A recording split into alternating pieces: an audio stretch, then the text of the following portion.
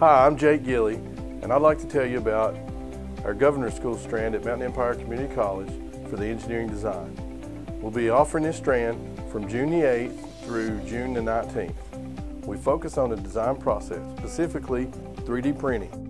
Another one of our favorite projects is the prosthetic hands. These hands can actually be used to help out small children. This year we'll be custom building robot and adding new parts to them. Also during our engineering design strand, you'll get to build your own tiny house. If you're interested in the engineering design strand, you can find out more at mecc.edu forward slash govschool.